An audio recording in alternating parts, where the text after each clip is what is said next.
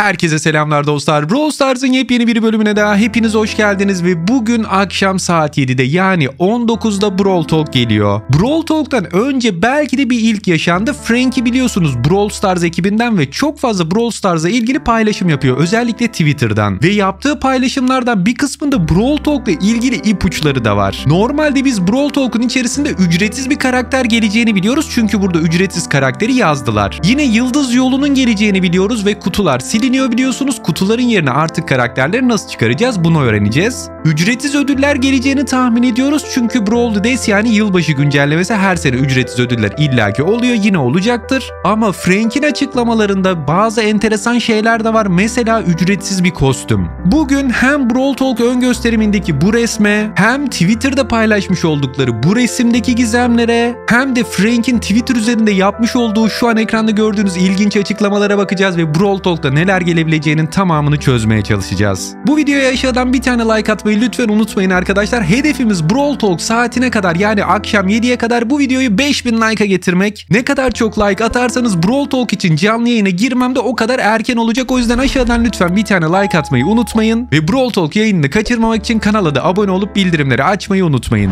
İlk olarak Brawl Talk ön gösteriminde YouTube üzerindeki başlıkta Brawl Stars Brawl Talk Buy Box'sız yani kutulara elveda yeni bir ücretsiz savaşçı ve yıldız yolu diyor arkadaşlar. Bunun dışında bir detay yok. Yani ücretsiz bir kostümden bahsetmiyor. Ücretsiz ödüllerden de bahsetmiyor. Normalde biliyorsunuz Brawl Days yılbaşı güncellemelerinde ücretsiz kostüm ve ücretsiz ödüller de veriyorlardı. Hatta ücretsiz ödülleri 10 günden fazla süre her gün tıklayıp alabileceğimiz şekilde veriyorlardı. Ama bu sefer başlıkta böyle bir şey yok. Peki acaba gelmeyecek mi diye merak etmiştik. Ama Frank'in açıklamaları bunu sanki biraz netleştirdi gibime geliyor. Birazdan zaten bakacağız. Yani muhtemelen iyi haber bunlar da sanki gelecek gibi görünüyor. Ben en azından o şekilde anladım. Frank'in açıklamalarından birazdan zaten birlikte bakacağız. Bu videonun etiketlerine bakıyoruz ve burada gördüğünüz gibi Star Road yazıyor arkadaşlar. Star 2R ile yazılmış ve aynı Star Park gibi. Star Park biliyorsunuz şimdiye kadar gelmiş geçmiş en gizemli Brawl Stars Brawl Talk'uydu. Biraz ürkütücü şeyler vardı içerisinde ama yani gizemleri hala devam ediyor içerisinde. Yeni gelen bir sezonda hala Star Park videosundaki gizemleri yeni sezonda görüyoruz. O kadar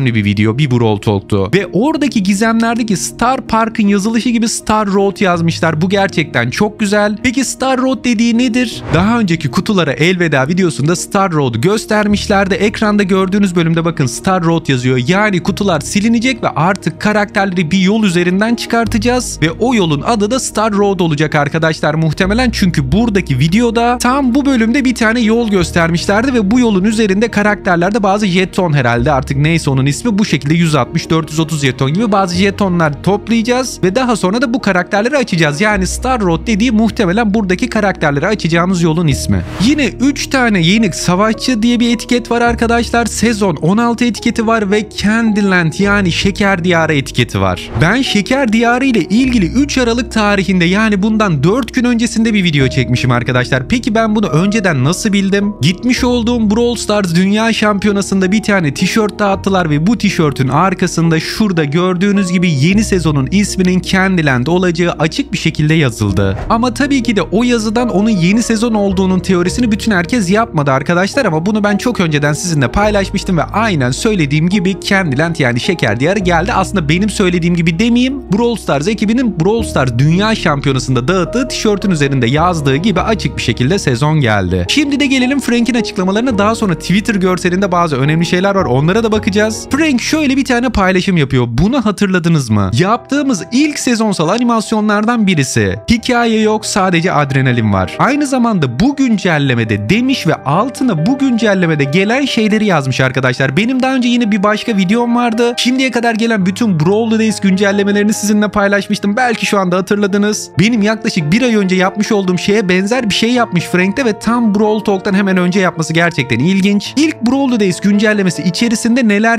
gelmişti bunu yazmış. Leon çıkmıştı. Yeni bir arayüz gelmişti. 3 boyutluya dönmüştü. Bu da ilk çıktığı yıldı Brawl Stars'ın 2 boyutludan 3 boyutluya gelmişti. Yani enlemesine dönmüştü oyun. Ve bazı kostümler gelmişti. Bazı yeniden düzenlemeler yapılmıştı demiş. Buradakilerin hepsini tek tek izlemeyeceğiz tabii ki ama arkadaşlar şöyle sadece hatırlamak açısından böyle bir animasyon vardı. Bunu zaten ilk hani şeyde bakabilirsiniz, bulabilirsiniz. Brawl Stars kanalının içerisinde isterseniz izleyebilirsiniz ama içerisinde çok bir şey yok. Bir animasyon sadece. Bunun hemen altında da arkadaşlar bir başka yani bir sonraki yıl yapılan Brawley Days animasyonunu yine paylaşıyor. Buradan bir yandan animasyonda hatta ben sizinle paylaşayım ve burada yazmış olduğu şeyde ne demiş? Peki ya bu nasıldı? Biz yılbaşı güncellemesiyle korsanları bir araya getirmenin, onları karıştırmanın iyi bir fikir olduğunu düşünmüştük burada diyor. Hatırlarsınız belki burada da korsanlar ve yılbaşı güncellemesini hakikaten karıştırmışlardı. Hatta birçok oyuncu şey demişti. Korsanlar ne alaka yani yılbaşı güncellemesiyle falan bağlantıyı kuramamıştı. Gerçekten de öyleydi ama böyle değişik bir şey de yapmışlardı. Burada da Max ve B gelmişti. Hediye talanı isminde yeni bir tane oyun modu gelmişti ve bazı mücadeleler gelmişti diye söylemiş. Brawl Days 2019 diye de buraya yazmış arkadaşlar. Bakın bu Brawl Days 2018. Sonra biraz daha aşağıya doğru geliyoruz. Bakın Brawl Days 2020'ye geldik. 2020'de de hepimiz evde tıkılı halde kalmıştık pandemi sebebiyle ve Lou Tike arkadaşça bir yaklaşımda bulundu ve daha sonra da Mr. P'nin Snowtail'ini araştırmaya başladı gibi bir şey diyor arkadaşlar. Ve burada hatta şöyle bir şey de diyor. Serverlar ve matchmaking yani oyun bulma sistemi bir süreliğine bayağı bir karışmıştı. Çünkü hepinize Edgar hediye etmiştik diyor arkadaşlar. Burada hatırlarsanız bu Brawl Talk'un içerisinde ücretsiz bir Edgar vardı. Edgar'ı tıklayıp alabilecektik ama Edgar'ı almak için bütün herkes oyuna tekrar gelmişti. Yani bırakanlar da tekrar oyuna dönmüştü ve o gün oyunu saatlerce oynayamadık. Gerçekten çok zordu ama oyun inanılmaz popüler bir hale gelmişti. Ve ben sırf bu Brawl Days yüzünden bu incelemeyi ben bir ay önce yapmıştım. Frank'in şu an yaptığı incelemeyi. Ve sırf bu sebeple arkadaşlar ücretsiz bir karakter tekrar vereceklerinden adım gibi eminim diye söylemiştim. Ve bu Brawl Talk'un içerisinde ücretsiz bir savaşçı vereceklerini söylemelerinin sebebi çok büyük bir ihtimalle aynı burada 2020'deki Edgar verdikleri zaman gibi Brawl Stars'a tekrar bırakan bütün herkes geri dönsün. Tekrar oyun eski popülerliğinden çok daha yüksek bir seviyeye ulaşsın diye verdiler. Ve bence çok çok başarılı bir hamle. Umuyorum verdikleri ücretsiz savaşçı yine göreceğiz tabii Brawl Talk'ta ama umuyorum çok güzel güzeldir. Ben çok güzel olduğunu düşünüyorum. Çok üzerinde uğraşarak yapıyorlar. Mesela Edgar'ı düşünün. Şu an oyunun en sevilen karakterlerinden bence yeni gelen ücretsiz karakter de en sevilen karakterlerden biri olacak. Ve gelelim 2021 yılına arkadaşlar. 2021 yılında da bir Brawl senfonisi bir başka ücretsiz savaşçı diyor ve bir kaos diyor arkadaşlar. Ama bu sefer aynı şekilde bir kaos değil. Grom ve Fang gelmişti burada arkadaşlar ve challenge yani bir mücadeleyle de ücretsiz bir savaşçı almıştık.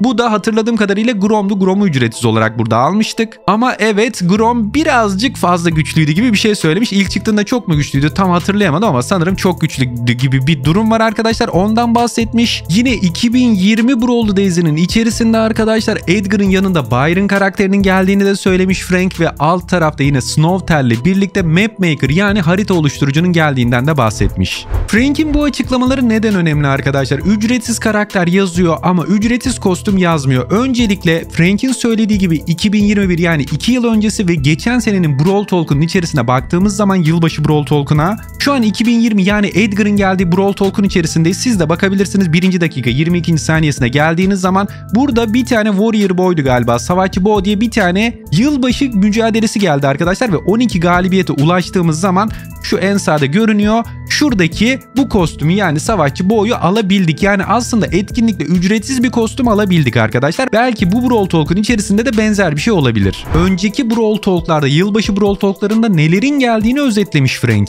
Ve bunlara tekrar baktığımız zaman şu anda mesela 2020 yılındaki ödüllere bakıyoruz arkadaşlar. Ödüllerin bir kısmına bakıyoruz ve 2020 yılında Old Brock yani eski Brock kostümü vermişlerdi ücretsiz olarak. Ve şu anda da 2021 yılı ödüllerine bakıyoruz arkadaşlar. 2021 yılında da gördüğünüz Dynamite kostümü verilmişti. Yine klasik Mike'dı galiba ve bunu da ücretsiz olarak verdi Supercell. Bu arada ben bu görseli internetten buldum. Şu sol tarafta elmas da var. Elmas vermiş miydi? Çok emin değilim hatırlamıyorum ama buradaki Dynamite kostümünde vermişti. Yani şu anda başlıkta yazmıyor ama belki ücretsiz bir kostümde verilebilir. Bu şekilde belki tıklayıp alınabilir. Ya da belki daha önce savaşçı Bo verilmişti ya hani bir mücadeleyle. Belki oradaki mücadele gibi bir mücadeleyle de verilebilir ama ücretsiz bir kostümde yine gelebilir önceki yıllarda olduğu gibi. Tabii ki ücretsiz ödüllerin içerisinde artık yeni karakterleri kutudan çıkarmayacağız ve bir jeton biriktireceğiz vereceğiz. O jetonlarla açacağız ya ücretsiz ödüllerin içerisinde ben kesinlikle oradaki jetonları da vereceklerini düşünüyorum arkadaşlar. Bunun detayını akşam zaten Brawl Talk'ta birlikte göreceğiz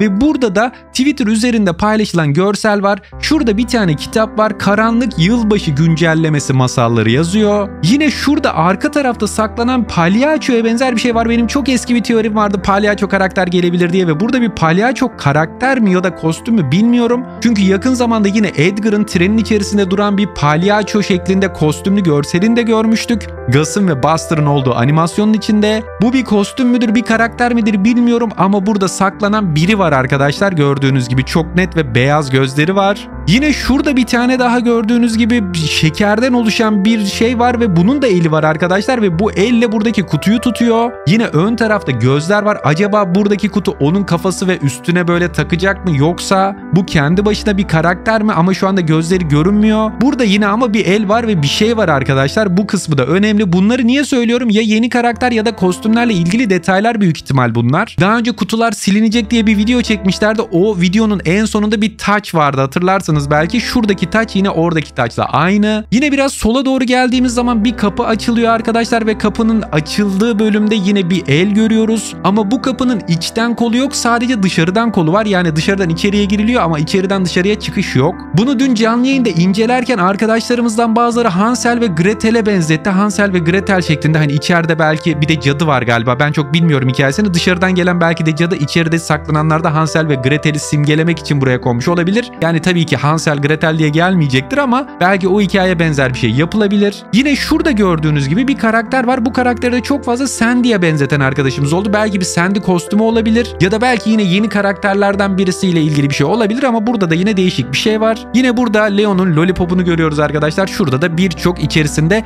şeker değil de böyle hani sallayınca sanki ses çıkaran toplar olur. Onun gibi toplara benzeyen bir şey var ve bir fanusun içinde bunlar. Ve burası da özetle arkadaşlar Candyland yani şeker diyarı büyük ihtimalle ve burada görmüş olduğunuz gibi her yer şekerden. Şu kapının üstü mesela pudra şekeri gibi bir şeyden yapılmış. Şuralar sanki şeker gibi yani her yerde şeker görüyoruz. Yani yeni sezon, yeni 16. sezon ve Brawl Talk'ta bize anlatacakları şeyler, kostümler vesaire bütün her şey muhtemelen şekerle ilgili olacak. O yüzden çok renkli, çok eğlenceli bir sezon olacak. Ben şekeri ve o şekerin renkli dünyasını çok severim. Bakalım umarım siz de beğenirseniz. Bir de şurada sağ üstte bir tane de şöyle bir ayı kafası var. Bu Nita'nın ayısı mı acaba bilmiyorum. Çünkü Brawl Talk ön gösterim resminde de böyle bir şey vardı. Belki şurada görmüş olduğumuz Nita kostümü bu büyük bir ihtimalle. Buradaki kostüm genelde bu arada Brawl Pass birinci seviye kostümü oluyor. Brawl Pass kostümü olabilir. Şuradaki ayının bu kafası olabilir mi acaba diye düşündüm ama orada da öyle bir şey vardı. Son olarak Brawl Talk ön gösteriminde burada ya yeni karakteri ya da karakterleri simgeleyen bir görsel var ama ne olduğu tam olarak belli olmuyor. Oyunun içerisinde haberlere tıklayınca oradaki görsel çok böyle bir saniye falan tam ekran görünüyor sonra üzerine başlamasına şu kadar saat kaldı diye bir sayaç ekleniyor. Buradaki görselin tam ekran halinde aldım sizin için. Şimdi bunu dört ayaklı bir karakter olabilir diye de yorumlamak mümkün tabii ki ama arkadaşlar ben öyle olduğunu zannetmiyorum. 3 savaşçı gelecek deniyor ya bence buradaki gölge o gelecek olan 3 savaşçının da bir arada bulunduğu bir gölge. Bunun sebebi de şu şimdi alt taraftaki ayaklara bakın arkadaşlar iki tanesi sağ tarafa bakıyor iki tanesi arka tarafa bakıyor. Yani bu dört ayaklı bir şey olsa ayaklar aynı tarafa doğru bakar en azından böyle bir şey olması mümkün değil. O yüzden şu alt taraftaki dört ayak iki farklı karaktere ait. Üst tarafta da yine bir tane kafa var arkadaşlar. Şuradaki herhalde kafa diye düşünüyorum orta taraftaki ama o da çok büyük. Yani o ayaklar için fazla büyük. O yüzden o üçüncü karakterin kafası diye düşünüyorum ve bir tane yine bir şapka gibi bir şey çıkartıyor elinde. Yine sol tarafta baston şeker gibi bir şey görüyoruz arkadaşlar. Yani orada muhtemelen 3 tane karakterin 3'ünü de görüyoruz. Bugün akşam Brawl Talk canlı yayınında bütün detayları size aktaracağım. Akşam Onur Bilgi YouTube kanalında canlı yayına hepinizi bekliyorum. Ve bu videoya mutlaka like atmayı, kanala abone olup bildirimleri açmayı, marketten de kod bölümüne Onur yazarak bana destek olmayı lütfen unutmayın. Seviliyorsunuz dostlar. Kendinize çok iyi bakın. Sonraki videolarda ve inşallah akşam Brawl Talk canlı yayınında görüşmek üzere. Hoşçakalın. Bay bay.